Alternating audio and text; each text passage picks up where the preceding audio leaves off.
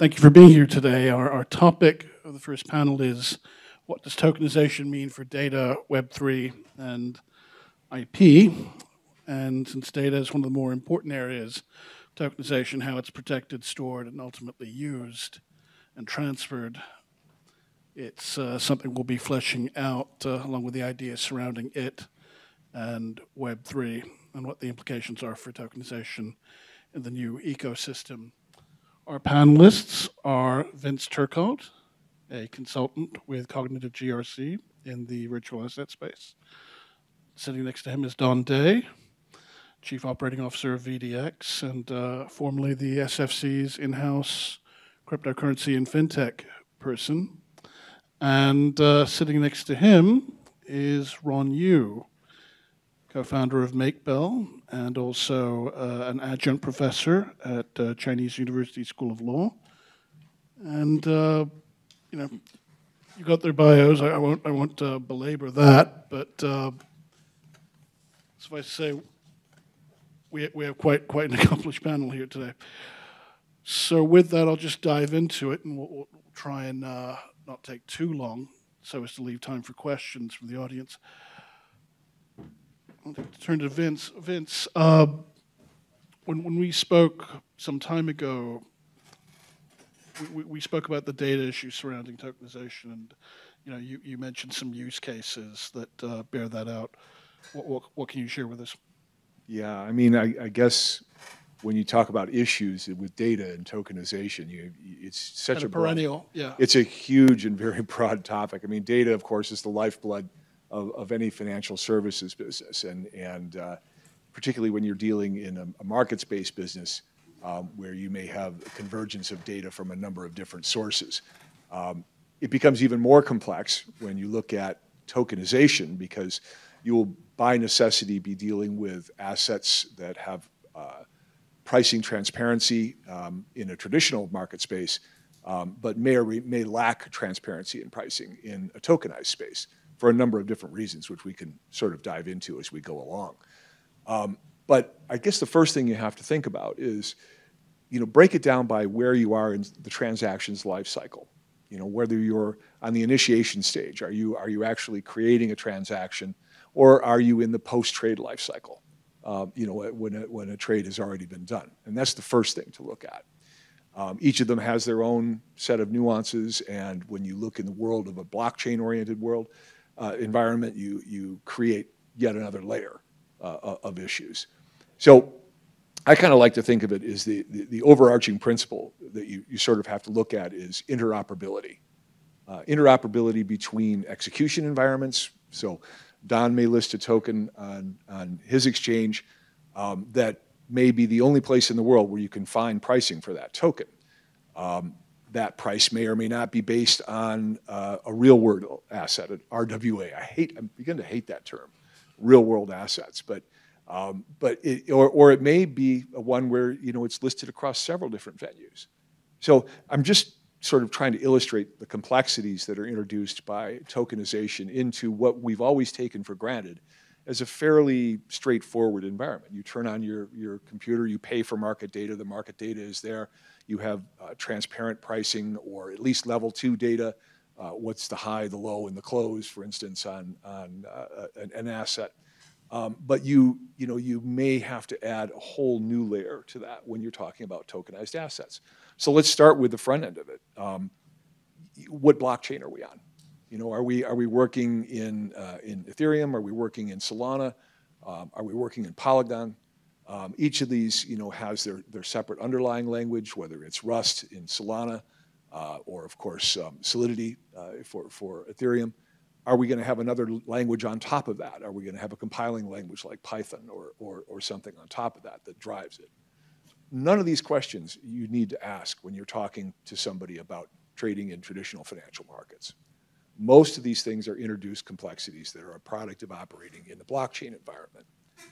Um, one of the more interesting things that's, that's probably not in my bio, but one of the projects that I've been working on is I'm the regional head, uh, regional chair for uh, FIX, which is the Financial Information Exchange uh, language that's been around for about 30 years. It's evolved in traditional finance.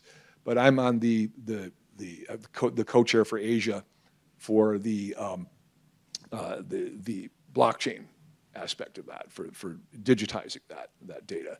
And what we found is that we can take the, uh, everything that we can do, of course, in traditional assets, um, on the transaction side, we can assign a fixed code to it and we can produce a data frame that looks roughly like it would look uh, if we were taking it out of a traditional environment.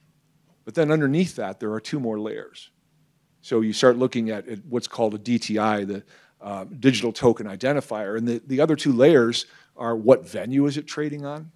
Um, is it unique to that venue? And then the third layer below that is what blockchain is it trading on? And so you have to have all these things in mind rather than just when you look at, at, at uh, standard FIX for, um, you know, for instance, for traditional assets, you're only talking about the ISN or I, ISIN number, uh, the International Securities Identification Number. That's what your security is, or a CUSIP number in the case of some fixed income securities. For, you know, for a, a blockchain transaction, you have the other two layers as well. So we're finding that we have to coordinate all of this with a number of, with a veritable alphabet soup. I mean, I'll, I can run through a couple of them. I've already mentioned FIX, but there's the, uh, the DTCC CTM database, which we'll talk about a little bit later for another reason. Um, there's the uh, uh, ISDA, the International Swap Dealers Association uh, CDM database. Um, and then, of course, everything has to come up under ISO uh, 24165, which is the international data standards. Um, you can't talk to anybody without having all of those things aligned. So we're at the very beginning of this process. This isn't something that is racing ahead in leaps and bounds. You know, when we, we look at the literature um, that's out there about tokenized assets, individual tokenized assets, you, you get the idea that it's all happening fast and you better get on the train right now. But if you, let's take an example for United States Treasury securities that have been tokenized so far. The number is like 685 million which won't even get you a quarter of a two-year issue, you know, that's coming up in the, in the refunding. So it's still tiny. It's still not scaled. And the reason it's not scaled is because it doesn't have the type of standardization that will allow for liquidity across various platforms for trading or that will allow for liquidity in settlements. And, you know, and I, I could, I mean, this is one of Don's favorite topics, I know, but when we get onto it, we'll talk a little bit about custody and you know and, and what you need to do to have uh, an integrated custody solution. If I trade, um, we'll stick with the example of the United States Treasury securities. It's pretty straightforward. I would go through DTCC. Um, you know, my custodian, whether I chose it to be State Street or uh, Bank of New York or somebody like that, would have accounts set up there in my name, and all of that would be handled in a pretty straightforward fashion. If I'm going to set up a, a similar arrangement and do it in a tokenized fashion, the state of the, of the market right now is I have to have an account and a custody solution that is specifically designed for the exchange that I trade on. And if I have 50 different venues, and that's not an exaggeration, I may need 50 different venues. I need 50 different accounts. I need 50 different uh, uh, settlement structures and settlement instructions that I have to deal with. So, as you can see, again, it's like, you know, the promise is there. I mean, all of the things that we hope for in terms of, of reduced settlements friction, in terms of, of uh, market transparency, and of course the, the history and auditability of a blockchain transaction. All those things exist, but right now they exist only on the whiteboard and in various projects that are just getting off the ground. So we'll get there. Um, but in terms of data, I think, you know, I think if, if anything, I hope I've created a whole bunch of questions um, and I, I don't have any ready solutions to offer, even though I'm actively engaged in an international standards committee that is busy trying to set this up. We're not there yet. You know, we're not there yet. We're, we're getting there. And I, I think that, as I mentioned at the beginning, um, and I'll yield with this, but we do have a, a, a pro forma document for the transaction side. Um, we are able to uh, get uh, one of, of, of the larger exchanges in the space has 150 different customers that have asked them to write to FIX for the settlement side.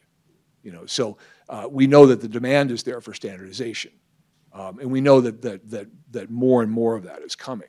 Um, but that has to be driven centrally by industry bodies, um, by academics, uh, you know, by people who are coming out into the space, um, and certainly by, by the legal side as well um, where there will be a compulsion to line up under an ISO standard that is there then again aligned with each of these other uh, uh, types of databases. So that's, that's the opening salvo. I mean, Don, what would, what would you guys have to say about this? As usual, I couldn't have said it better than Vince. Um, I, I, think the, the, the issue is not only data related. So you're absolutely right. A, a lot of um, a lot has been written about tokenization. Um, 2017, I co-founded one of the first institutional-grade hedge funds for, in the crypto space, and we had a whole slide on the tokenization of assets because that's a catchy phrase. You can easily talk to investors and, and make a story around that.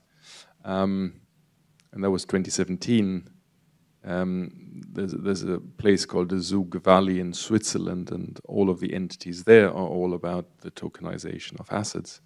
But nothing really substantial has happened. And, and like you said, people report certain numbers and, and volumes, and you compare them to volumes that are traded daily in the FX, or especially uh, in the FX market, of course, but also in the fixed income market, and they just pale to what, goes on there. So, um, and we'll, we'll come to that later. Um, the devil is in the detail.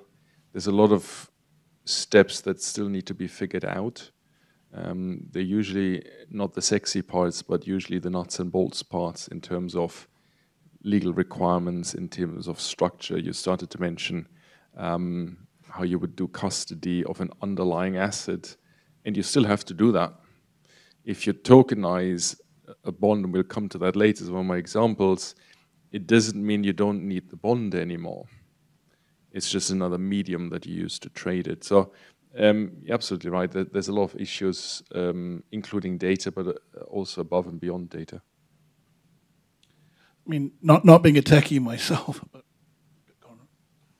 oh, you go, go ahead, go ahead. Okay, not being a techie myself, um, and being a, you know, given that my background's more compliance and regulation, but 50 different accounts across 50 different exchanges, 50 different ways of settlement. I'm thinking more bureaucratic rigmarole, more compliance burden, more, more paperwork, data, information overflow. I, I can give you a real world example. I the last firm that I was with full time, um, we were doing market surveillance. And um, market surveillance, for those of you who, who don't know, uh, involves monitoring the activity of a trading desk or activity at the level of an exchange to make sure there's no bad actors. There's nobody spoofing the price. There's nobody uh, who is creating false transactions. There's nobody who is uh, violating any rules with regards to market manipulation. Um, and we would deal with a number of firms that were engaged in the proprietary trading space, uh, so-called HFTs. That was our roots as well. I come from that background, and, and so do the guys I work with. Um, and so we would be asked by uh, typically one of the, the household name proprietary trading firms would need to hook up to 24, or 25 different crypto exchanges in order to you know, obtain the necessary liquidity that they wanted to have for cross-exchange arbitrage or for market-making activities and things like that. No two of those exchanges, when we would do all the data handling for them, we would bring it in and consolidate the data and, and put it into a single format and return it to them in that, in that fashion. No two of those exchanges uh, would supply data with the same structure no two of them. Now, that's, that's also true, by the way, in, in, in, in the world of, of uh, let's say, standard exchanges. You have uh, the ICE exchanges, including New York Stock Exchange. You'll have the Chicago Mercantile Exchange. You'll have uh, various other stock exchanges, for instance, around the world. Um, but, and you may have, in that case, you may have a total of 20 or 25 exchanges as well, but you'll find that their data structures are much more harmonized and easier to work with. Um, they're typically formatted in FIX, the, the, language, the uh, data structure I mentioned earlier. Um, but these other, you know, the crypto exchanges are all sort of, they, own, they build their own matching engines. They have their own way of approaching data structures. Um, there's no uh, standardization or harmonization of the data in a natural way. Um, so some of these exchanges would bring us the data in a really nice, clean format. And we run into this, by the way, when we work with regulators too, because they need to monitor all these exchanges. So some of the exchanges were really together. They would bring their stuff with us. A great example would be CBOE Digital. um, they have their, their stuff tightly wired and, and they know what they're doing and they'll bring you data that you can work with right away, right out of the box.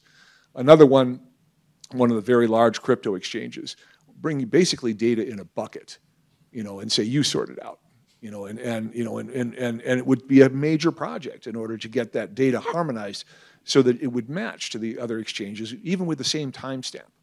So it's, you know, we, we spend a lot of time on the minutia here, but it's important to understand that making that jump from traditional finance to the world of, of, of digitized finance, um, those same standards are not there. They haven't had the 30 years or so to evolve uh, that they have in the traditional financial markets.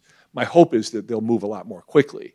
But what that means is, is that they have, there has to be convergence to the existing structures that we have from traditional finance, not recreating the wheel. Um, anyway.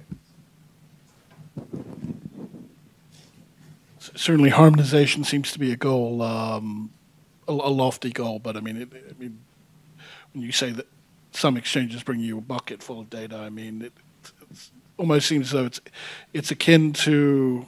I was having a conversation with a friend of mine who's an accountant. Some clients make their lives and your lives easier by being organized and having everything in a neat, nice, neat folder, in which case you can serve them a lot more expeditiously and relatively cheaply. But the people who come to you with a stack of receipts before the filing deadline, uh, you know, yeah, the work can be done, but but who can blame the accountant if you charge them more? Well, let me ask you this: the guys who bring you the disorganized yeah. data are they more likely to be the ones also who have something to hide, to obfuscate? than than the ones. He pointed. He pointed he, than the he, and, and he, you'll he, concurred with that. You'll find that in the world of data as well. if somebody gives me a, a very large exchange that may process as many as hundred thousand transactions in a second, gives me data that's only got millisecond granularity, when I need micro at the very least, in order to, to see the order of transactions, they maybe they maybe have something to hide. They maybe don't want me to know exactly what's going on under the hood. So, and that, and, and we have found that consistently to be the case. Well, he said, I mean, a lot, a lot of those people, he said the dodgiest people gave you the shoddiest paperwork. But I mean, by the same token, there are a lot of well organized tax dodgers who, who had, you know, immaculate paperwork, which sometimes he had to, he had to, he had to be more scrutinizing on the, on the other end with regards to that. Um, if, I, if, I, could actually go back to uh, something you talked about uh, and bring it to the IP area, you talked about standardization and lack of standardization. The problem in the IP area, first off, is that um, tokenizing IP as an asset, um, really, if you want to do it properly, you should actually understand the underlying nature of the asset and it's what contributes to its value, which are technological considerations in the case of patents legal considerations. Obviously, IP is a legal right, and some, and uh, also business considerations. Now, from the valuation standpoint, there is really not much in terms of harmonized standards. Now, there is ISO 10668, which is a it's talked about as a trademark valuation standard. Actually, it's a brand valuation standard. Okay, and as far as um, uh, patents are concerned, there is no real standard. I mean, there are ways to evaluate using different methodologies. But then here comes another problem with that, is that if you want to value a patent, for example, you can provide three or four different valuations that are all different and they're all legitimate and they're all equally valid because you've done them with different methodologies, but you followed the methodologies and you stated your assumptions. And uh, so, so that's another problem here is that what exactly are we, you know, you're, you're, you're tokenizing an asset that has multiple valuations, but you don't necessarily know which valuation is correct. Um, and going back to the business standpoint, um, I think a lot of the other problem, which is that you don't actually understand what you're dealing with in terms of what this IP evolves. This is particularly true with patents. Patents are notoriously incomprehensible to the average person. Um, I, I, wrote, I wrote a patent on IP tokenization. I don't even understand my own patent. and, um, and I can tell you that you know, it really helps if people can understand it. I mean, there is AI now that's helping people to understand these patents and uh, make sense of it. Um, but that is um, that's being used right now in, in Hong Kong. But um, you know, still, you still need to actually have some understanding of what you're dealing with, some understanding of where these apply, and in terms of valuation of the asset, um, you have to um, in the case of IP, you have to understand that the, because it's an intangible asset, it can have multiple values all at the same time, and they can all be legitimate. Well, it's good that this brings us to the next question, which is, you know, the the growing talk about tokenizing IP, which isn't new, but I guess the the challenge lies in understanding IP and in intangible assets and uh, I don't know, any any thoughts on to, to the degree that uh, AI can mitigate that, or, or is it uh, is the technology not there yet? The technology is. They have been uh, there have been people who've talked about AI and uh, using the AI to um, manage the sorry to help with the let's say trading of technology. Um, I think that's a bit um, premature, frankly speaking. In terms of uh, comprehension of IP, okay, you can actually use um, some language models um, to actually analyze and summarize a patent. Now, the problem here, however, actually lies in the way you actually prompt the machine, uh, in that like if you're doing an interview, if you can ask very specific questions of the uh, interview, the person being interviewed, you can tend to get better answers, better insights. Again, here the trick is to actually um, able to prompt the AI properly, such that you get the proper insights into the technology, um, and that you go down, um, you get the right answers as well as the right insights that you might not get if you asked a fairly general question. Let me give you an example all patents are classified by technology. Some patents have one or two classifications for a particular technology, sometimes multiple. But the classification, if you think about it, is just a way to put something into a, uh, a little folder and saying this is you know part of this uh, this this technology falls into this category. But if you actually want to understand and go down to the, um, the nitty gritty and actually uh, understand the nuance of the technology. You actually have to understand, um, you know, to analyze the patent properly, and also so that you actually get a better feel for what it actually can do. Let me give you a really grossly simplistic uh, um, example. If you are classifying vegetables, you can classify um, spinach and cabbage as vegetables, and they're both green, but really there's not much else that's similar about the two. Okay, similarly, if you put a, two patents into the same category, you can find that if you do a proper analysis, it can actually be quite, they can actually be quite different even though they are in the same technological category. So therefore, that's where the other area where AI can help is to actually find these differences. And for somebody who's not technical or not in the particular technology space, um, this is not an easy task, okay? You, so, so this AI can also help people in terms of this classification and drilling down to more specific areas of the, uh, more specific instances of the classification and more specific um, answers. I was going to ask, you know, what excites me about your area, Ron, is that um, I'm a markets guy, you know, and I, I, I, see something, you know, that's being tokenized. Um, I want to cut it up and trade it. You know, I want to find its value in a transparent market. Um, I want to use it as a fundraising vehicle. You know, if I have if, if I have a, a, a exciting group at a university, for instance, that's producing uh, a new idea, um, I want to test its worth uh, by putting it into a token structure and, and, finding out if there's a market value for it. Um, and so, how far along are we in that, and, and what kind of standards are being created to do that?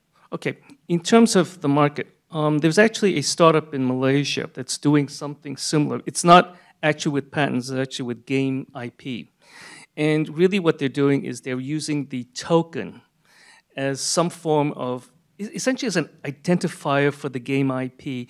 And then they are looking at the game statistics in terms of usage, um, um, you know, follow-ups, et cetera.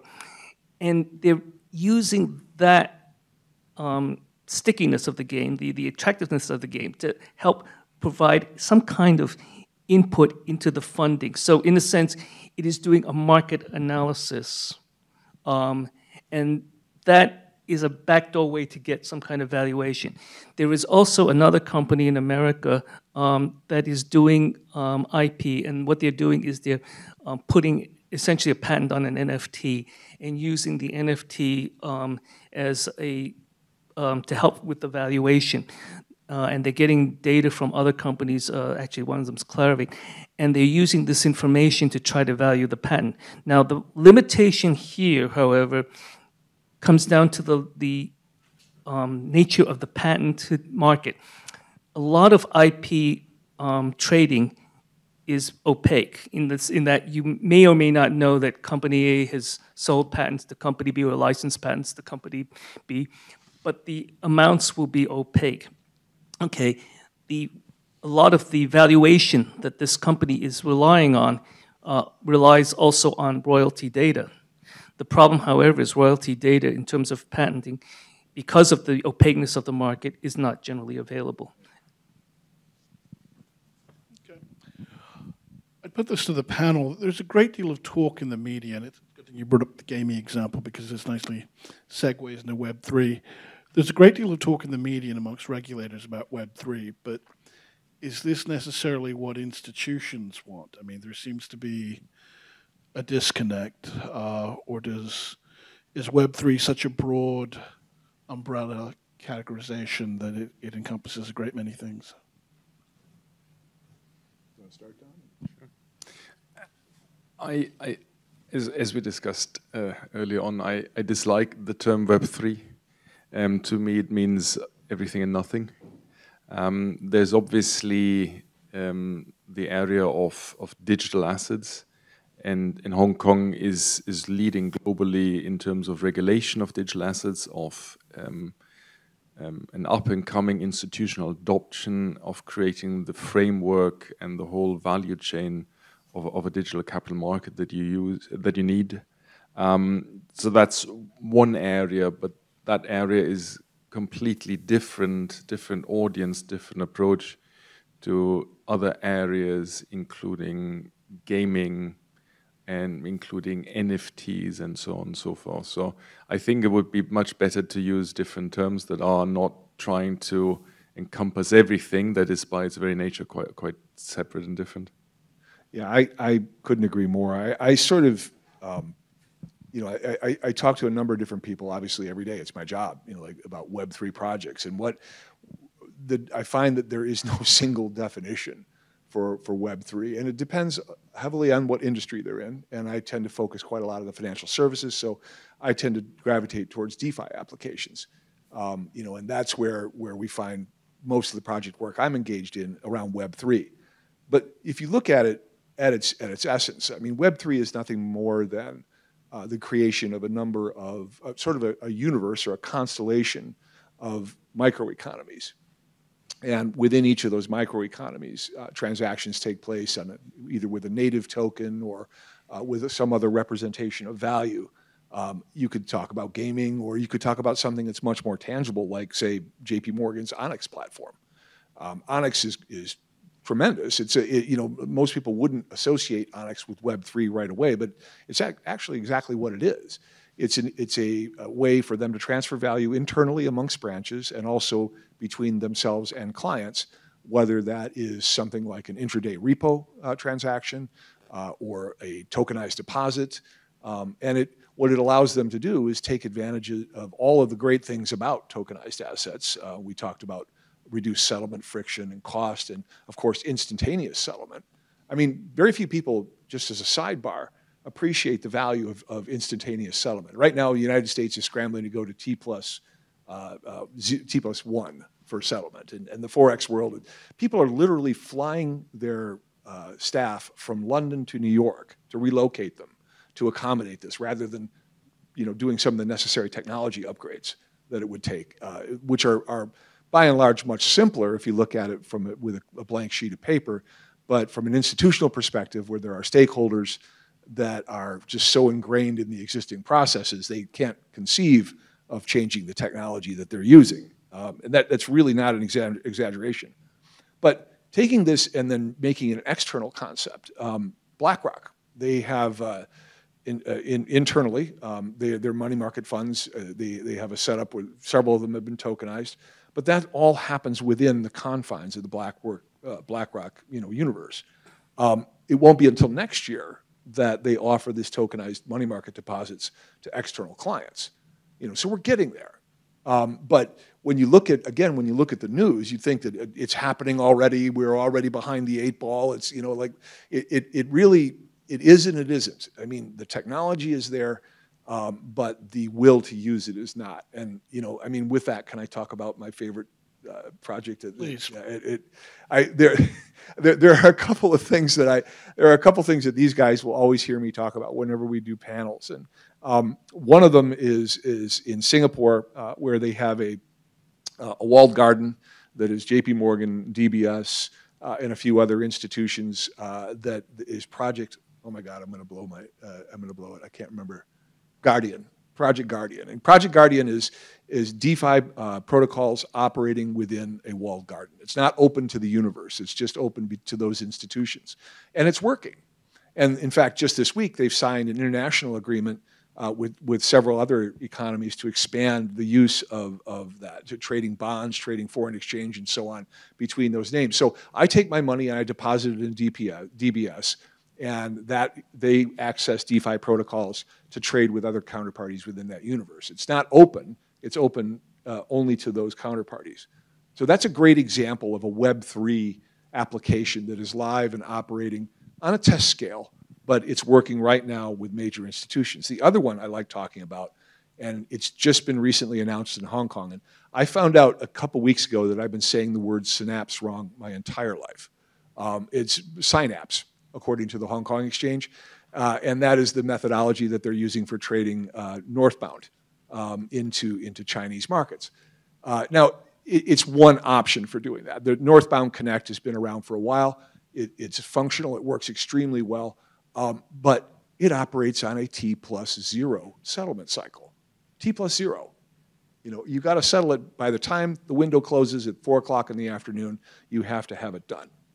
And that, that's pretty amazing when you think about America scrambling to get to T plus one, you know, or, you know, or, or Europe scrambling to get to T plus three. You know, I mean, it's like, it, it is, it, the, the fact is though that, that those are not tokenized assets. Those are just stocks that are northbound stocks you know, all listed in China, and, but your settlement instructions have to have, you know, uh, uh, be absolutely lucid. All of your, your market counterparts have to be, you know, uh, on point and ready to take that trade. Now, what Synapse is, is a way of using smart contracts written on a blockchain. The DAML is the language that they use. Um, and, you know, it, it, that facilitates the settlement process using the, I mentioned earlier, the DTCC's CTM database, which is a global custody database. They have all the information that you need to know about all the counterparties that might be germane to settlement of one of those trades. And those smart contracts operate on a blockchain alongside the settlement process without having to digitize the asset. And right there, I think, is food for thought. That raises the bar on what we really need to do to qualify something for tokenization. If you can do all this at t plus zero without having to, uh, um, without having to digitize it, what are we really talking about here when we talk about tokenization? I'll let Don do the FX example because it's even more fun. But Ron, go ahead, please. Well, actually, if I can go um, back to your original, uh, AJ's original question with Web3, um, one of the issues with uh, IP in, uh, uh, in, in the space, uh, tokenized IP in the space, is that you assume, a lot of people seem to assume that the tokenized IP is a digital twin of the actual IP, and it's not. Um, for example, um, I think one of the later panelists, um, Julian So, uh, when I first met him, we were talking about the guy who bought the $69 million Beeple NFT. Okay, and he went to Julian and said, um, What can I do with this? And Julian was like, okay, uh, why are you asking me? I'm a securities lawyer. He says, well, you're a lawyer. You should tell me about the IP. He actually bought it. He didn't know what he was getting in terms of legal rights. That's the first problem. Second problem is if there is a mismatch between the token and the actual owner. Let's say somebody token, uh, tokenizes a piece of IP and that he or she has no real rights to. You have a mismatch between what the government says is the legal owner and somebody who might be um, purporting to be the owner. Okay, so that's a problem there too. Finally, even without a registered IP, a government registered IP like a patent or a trademark, you have the problem of multiple owners, uh, multiple owners. This is particularly true in copyright. Okay, and that if one owner does something without the owner, the other two owners' um, knowledge, uh, there could be a problem. For example, let's say Vince Don and I write a book and I decide to tokenize the IP for the book without telling the other two. Um, how are they going to react? What kinds of problems could ensue? All right, so that's the other problem with the uh, tokenization is that you uh, you still have these legal, real world legal issues that you cannot ignore. I mean, my own thoughts on Web3 are was the average person even aware of the transition from Web 1.0 to 2.0? I mean, no. They, they went about their affairs. Okay, the internet got faster. They could do more things, more applications. It's really become um, the dish du jour. It's become a buzzword of our times. It's in vogue. It gets headlines, and so people seem to throw it around. Even even policymakers, and in some cases even regulators and lawyers who probably should should know better.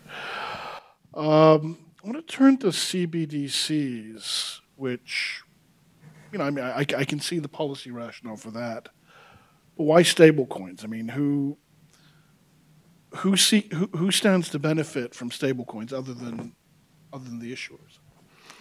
Um, thank you. And just coming back to what you said, I think uh, that's a very important point there always must be a very clear use case.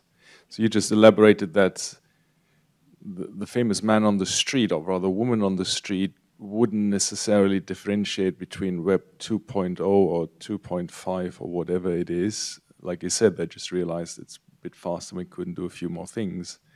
And that, that holds for anything. That holds for tokenization or something, and, and we'll have a few examples a, a bit later. But um, when you tokenize something, whatever the asset below it, underneath it is, you, you must provide a very good use case of why you do so and what the advantages and benefits are over just trading the actual underlying asset.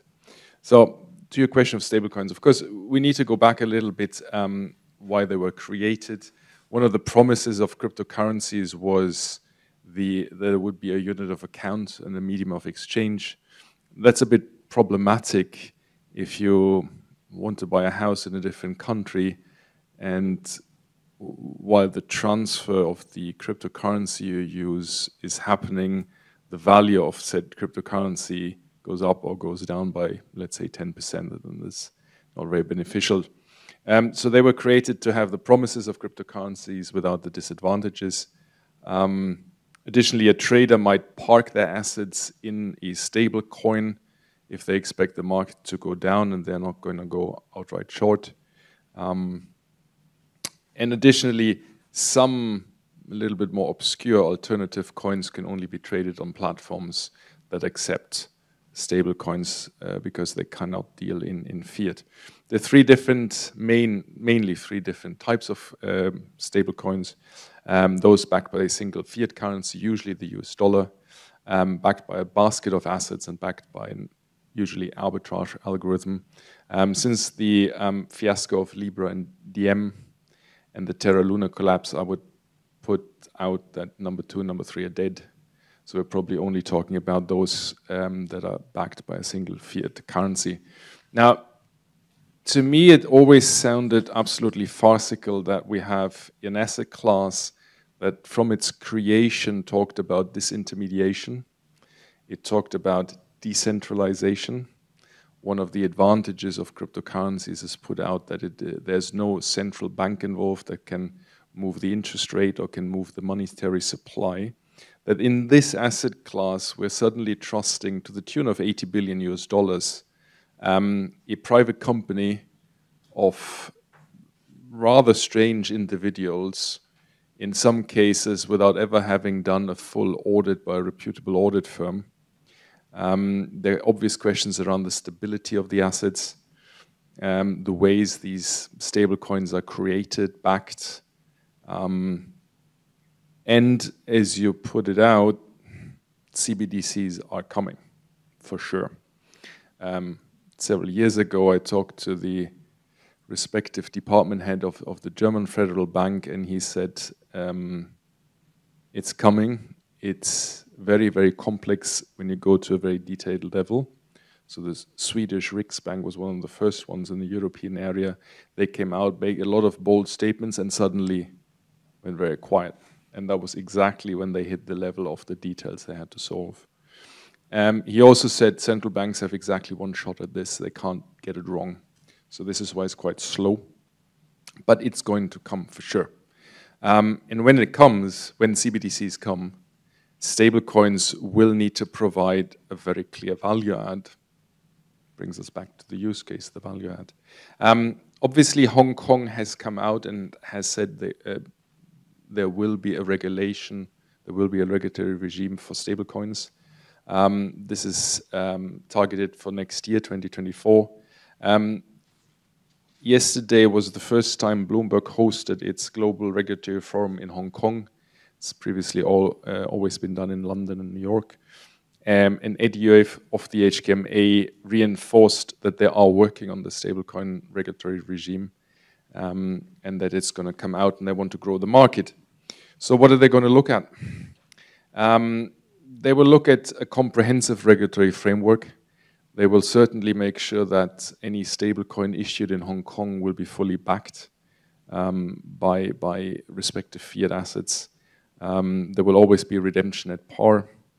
Um, there will be certain business restrictions. for example, a wallet operator engaging in, in uh, stablecoins will not be able to, to engage in lending activities, so just separation of duties and separation of businesses. So um, it's going to come.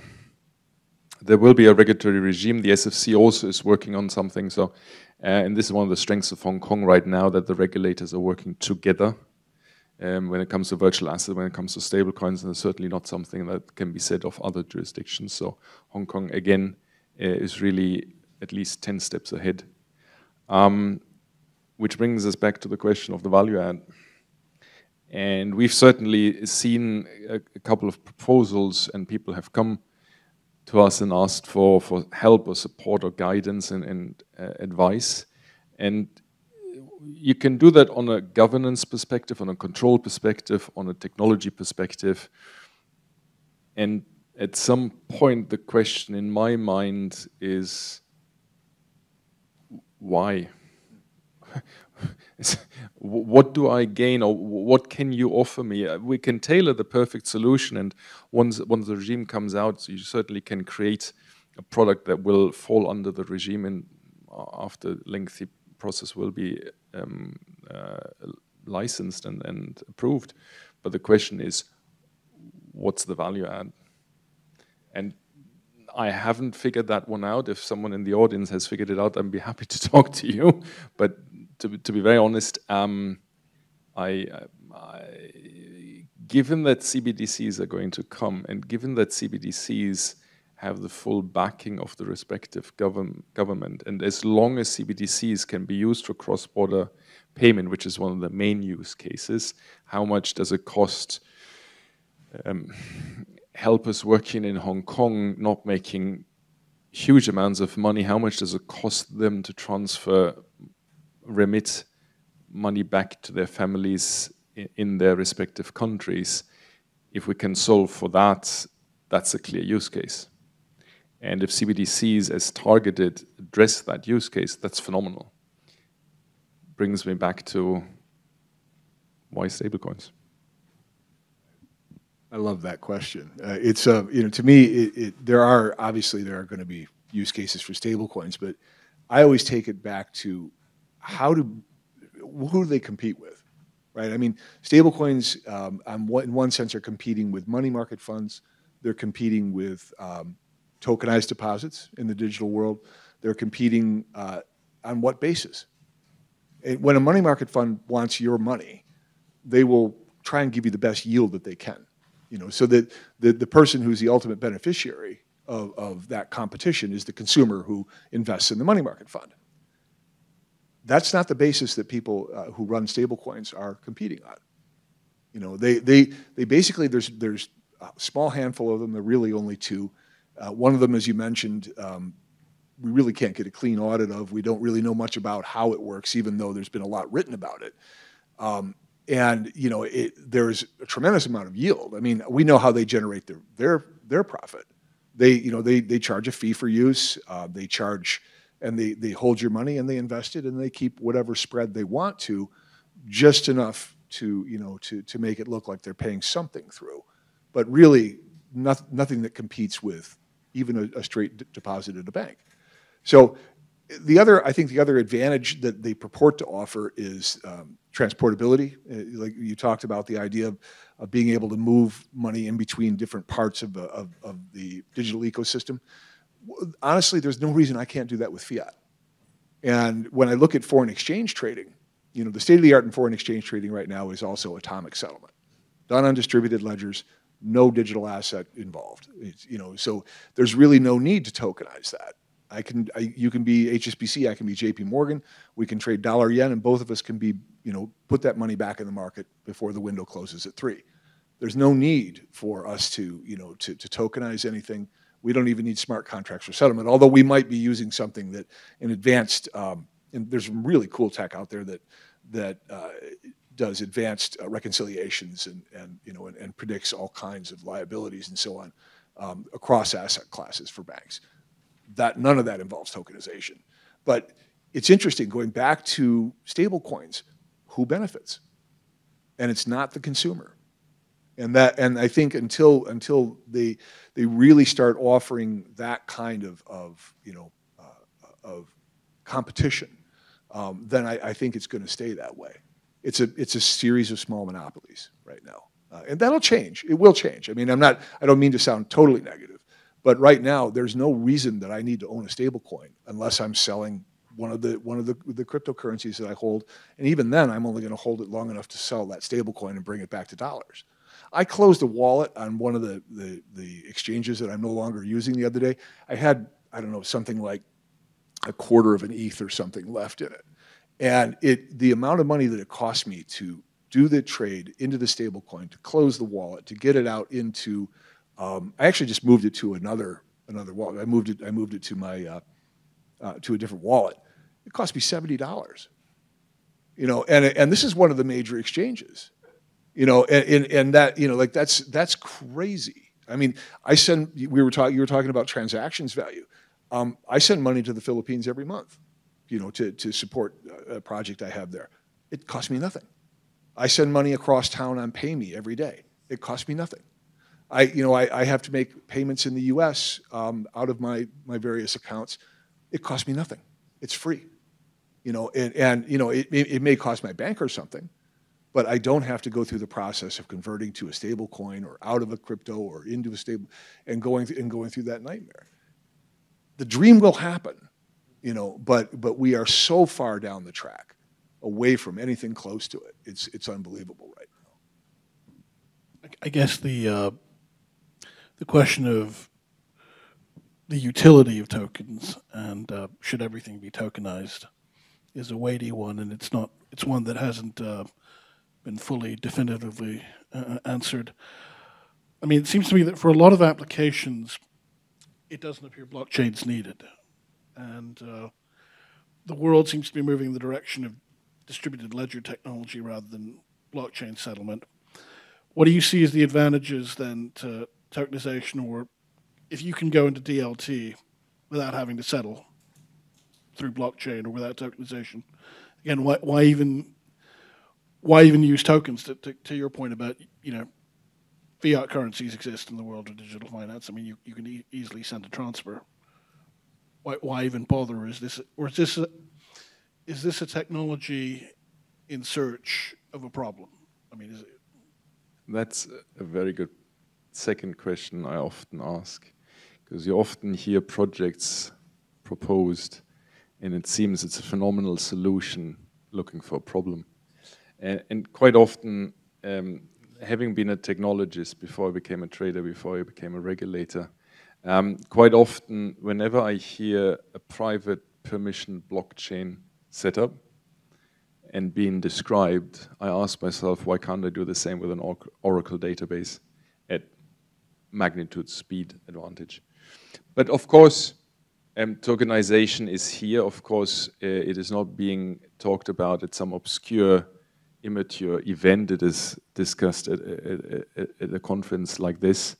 Um, institutions like IOSCO and BIS have taken note and issue research papers. Investment banks, management consultancies, and market data providers talk about it. Um, it would probably be uh, good to differentiate between a coin and a token. A coin is always native to its blockchain, and a token is usually built on top of an existing network. So the most popular example being Ethereum and the ERC20 tokens. So you can then um, create fungible and non-fungible um, tokens, and, and, Ron already mentioned um, the NFT craze. Um, in February of this year was sort of like the high with a transaction volume of 1.73 billion US dollars. That's come down to 284 million. That's a decline of over 83%. So that craze seems to be over. Um, like you mentioned before, a lot of people, and even reported in quite reputable media, was that uh, an NFT, a non-fungible token, is a digital representation of something being art, being whiskey, being something. Um, that is not true. So an NFT is, is a link often to a website, and the website might host a picture.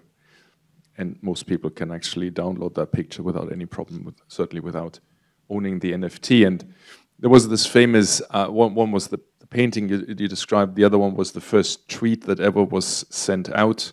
And there was an NFT that was sold for a couple million US dollars. And uh, the description in the Wall Street Journal said, and the owner of the NFT now controls this tweet until the creator decides to delete the tweet. So that means, as the owner, you own actually nothing. Um, today, the market has also moved away, I think, a bit from the tokenization of real-world assets there are a lot of very, very interesting uh, use cases, but they need a lot of hard work to figure them out. Um, something that now people look at are much simpler products, for example, treasury bills.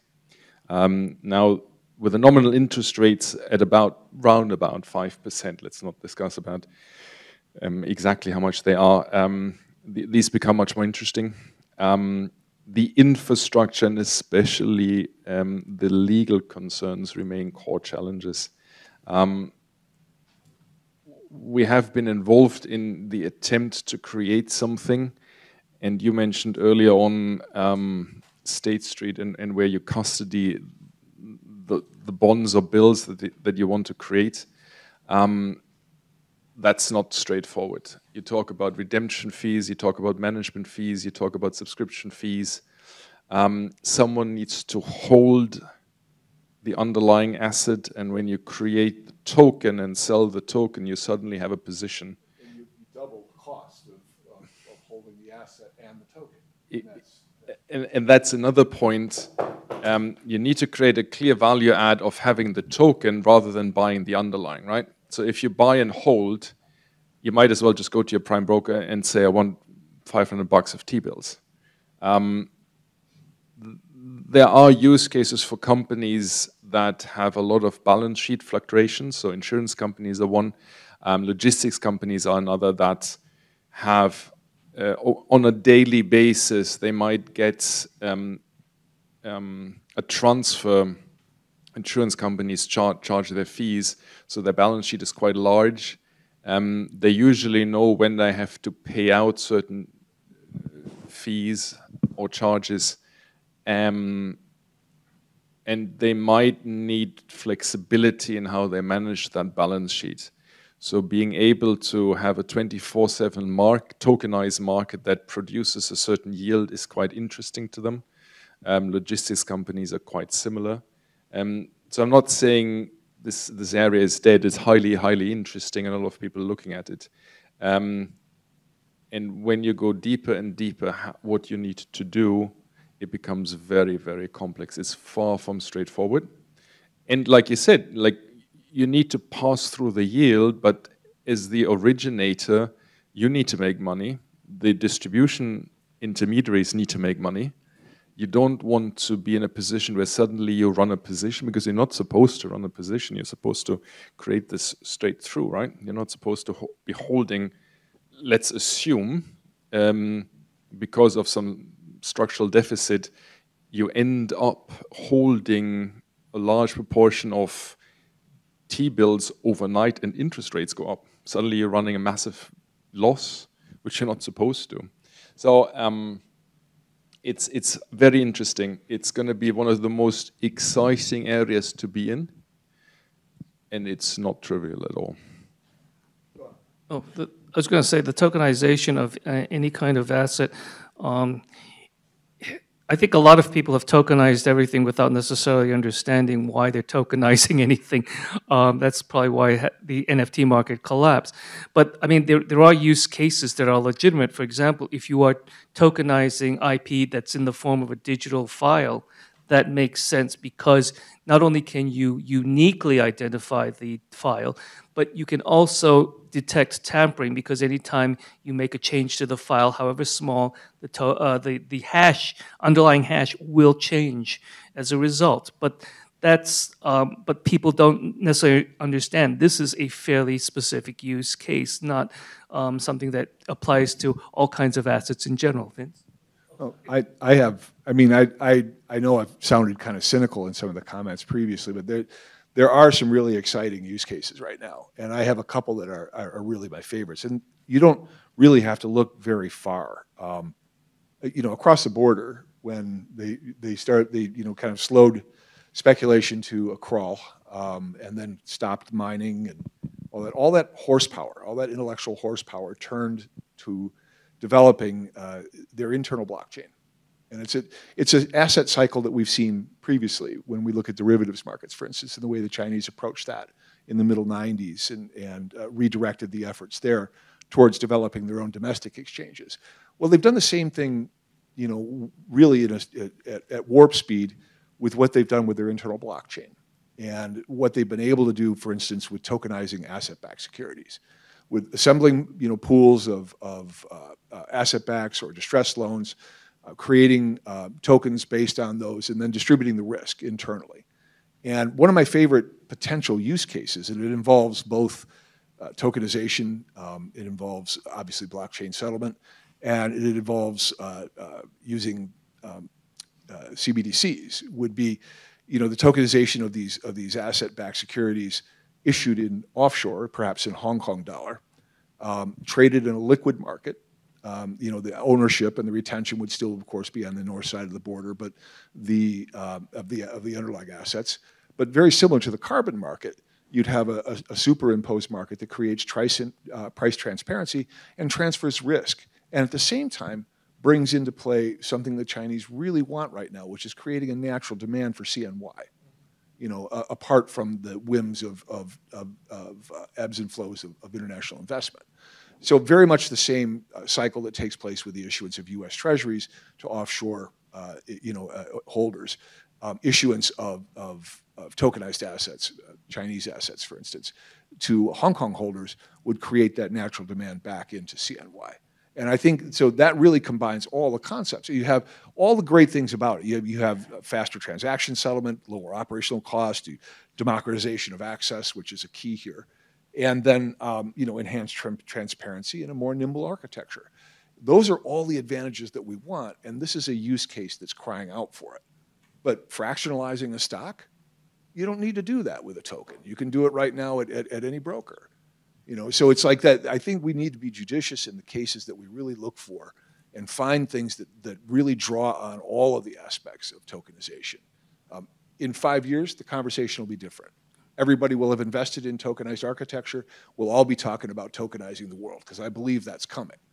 But it isn't today. You know, it's, I, I lost a bet with my old boss, Travis Schwab, that we'd already be there. You know, and when we had this conversation five years previously. Um, but five years hence, I think I would win that bet. this time. Vince, if I may just add quickly, um, the whole uh, notion you spoke about with China and the blockchain and what they're doing, that also is a um, infrastructure to uh, facilitate the transfer of technology amongst players. So using the token as a means of transferring technology and then backing up with um, CBDCs and other um, blockchains to, uh, uh, to, to, to, record the asset uh, transfers. Oh yeah, and look, I mean, some of the smartest customers I've dealt with in um, in this new wave of exchanges that are setting up here in Hong Kong um, are, are, the clients that I've dealt with that I think are the are the sharpest are the, the the firms that are across the border that aren't necessarily setting up to compete with Binance. Like they're diversifying a port portfolio of, of they're basically DLT firms. They have invested a lot in blockchain patents. They've and they've set up. Uh, they've sent 20 of their smartest kids down here to set up a, a crypto exchange. Um, and they followed every single rule impeccably. Good engineers, solid people, and they, you know, I know they're really smart because they buy my stuff. Um, but they, you know, they, they, you know, and then they aren't going to set up to compete with Don or to compete with with Binance or, or anybody like that. What they're really going to do is eventually sell that to, for instance, Huatai uh, or one of the other big securities firms that is not on top of the game just yet, but that needs to be. Now, one of the big, uh, without going too far, and we had this discussion before, I remember, AJ, when um, one of the big Chinese securities firms is setting up their own digital asset platform here. Uh, and, you know, so they're, they're ahead of the game. They have millions of accounts, millions. Um, if you look at, at uh, what, what um, Interactive Brokers is doing with, uh, you know, with OSL, uh, they have, again, hundreds and hundreds of thousands of accounts. Um, oh, sorry. Yeah. Comments, please. Oh, no. Final comments. Well, I'm, I've had all my time. Let me give it back over to Don. And, and Tokenization is going to come. It's going to fundamentally change how, how we do business, how we conduct finance. It will create new areas of finance. It's incredibly complex to do well. And Hong Kong will lead the way in how to do it on an institutional manner uh, tokenization has legitimate use cases, but it that depends on your understanding of the underlying asset and the a realistic uh, perspective on the application of the technology. Yeah, I think, like I said, um, I, I, bet my old boss that uh, within five years, everything would be tokenized. This was five years ago. Um, if I made the same bet today, uh, I think I would have a better chance at winning it uh, because I, I, think we are heading in that direction. But I think we need to be judicious about where we apply the technology, where it can do the most good, not where it's simply replicating an existing infrastructure and creating additional costs. Gentlemen, you've given us an, an informative and insightful session, plenty to think about. Uh, I think we're already at the 1:30 mark, if not past it. Uh, are there any quick questions, the audience? Please.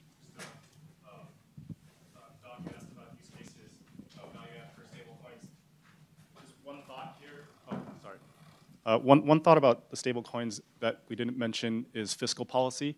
Um, I, I, feel like there's, there's already some very interesting use cases. And the example maybe I would, to make this more real life, is maybe if um, during the pandemic, uh, the distributions that were made by uh, the US government were tokenized and built for specific use cases, we wouldn't have had an NFT craze. Um, so I guess, you know, that, that may be one use case. I know you're asking, maybe I'd love to hear your thoughts on, on um, monetary or fiscal policy. Yeah, it, it, it's a very, very good use case. Um, can be generalized to limiting certain currency to certain people and usages. So for example, you could say, parents giving pocket money to their children and they can't spend it on sweets, alcohol, tobacco, something like that. So you can you can easily generalize that to any example you want. The danger you then have is you limit the liquidity and you limit the fungibility because suddenly my coin is different to your coin. And again, that, that's one of the reasons why central banks have to be so careful Surely you could replicate that with stable coins, but I think, let's say, and it's going to take let's assume the regime comes out next year. Let's assume an application process takes at least a year, if not more. We're looking at 2025 or later for a Hong Kong licensed stablecoin um, that is fully backed, that is fully audited.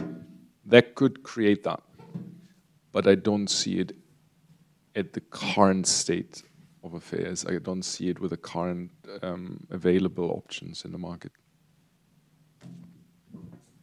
I would, I would only add to that, that the reason that um, central banks, and in particular central banks like HKMA, are so judicious and cautious about this is that they need to maintain absolute control over two things.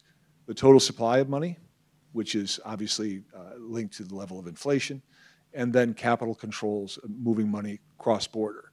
Um, So they need, that, that, that's the reason they're being so cautious about it. And it's also the reason that most of these stablecoins aren't regulated in any jurisdiction, is that you, you won't find a central bank that will give purchase to the idea of, gee, I'll let go of control of my money supply, or I will allow you to uh, move money across borders without asking any questions in terms of AML uh, and, and the like. And Stephen, if I might add one last point, um, since you mentioned the NFT craze, that was also due to um, social me, uh, social hysteria, okay, which is something a regulator regulator like the SFC would not be able to control. Thanks, guys.